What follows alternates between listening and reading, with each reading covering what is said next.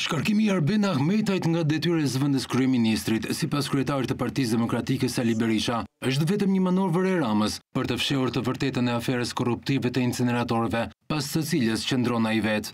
Në një dalje publike, Berisha tha se Rama është përgjegjësi kryesor për vjedhjen me inceneratorët, paratë për të cilat dolën nga Fondi i Emergjencave të Këshillit të Ministrave.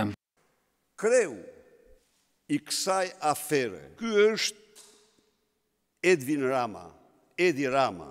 Ministria e Mjedisit, që u përdor për ekzekutimin e kësaj vjedhje, kishte në buxhetin e saj zero lekë. Paratë e djegësave u muaren Nga Fondi i Këshillit Ministrave për Urgjencën, fond që në përputhje me ligjin e vendit përdoret vetëm në rastin e katastrofave natyrale dhe të fatkeqësive të mëdha natyrore, Edi Rama këtë fond e përdori për të përvetësuar, bashkë me zyrtarët e tij, dhjetra e dhjetra milionë euro. Me urdhër të tij, ai nga Fondi i Emergjencës Këshillit të Ministrave, kaloi dhjetra e dhjetra milionë euro në buxhetin e Ministrisë Mjedisit për vjedhjet me incineratorët. Vendin e Arben Ahmetaj do e marrë Belinda Balluku, të cilën kryetari demokrat e quajti ministren më të korruptuar të qeverisë, madje i vendosi epitetin Miss Hajnia, që shpenzon dyqind mijë euro për luksin në zyrën e saj.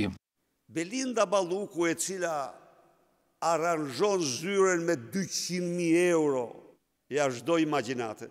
Po kjo është vetëm kafeja e Belinda Ballukut. I ndëgjuat kërcënimet energjitike të Edi Ramës. Qytetarët duhet ta dinë se kanë bërë gjashtëdhjetë shitje e blerje ditore njëlloj njëlloj si zarfat me njëqind e pesëdhjetë mijë lekë tek pensionistët e parave të të djegësve. Edhe këta, tendra ditor, blerje ditore, me çmim dy tre fish në krahasim me bursën, vetëm që të ndajnë para me njëri tjetrin, në rrugë të Shqipërisë, një rrugë e cila është ndërtuar simbas gjitha standardeve më parë me shtatëqind mijë euro kilometri, përfundoi me tre pikë katër milionë euro kilometri, nuk është pra e rastit. Që ikë një super hajdut dhe kthehet Miss Hajnia.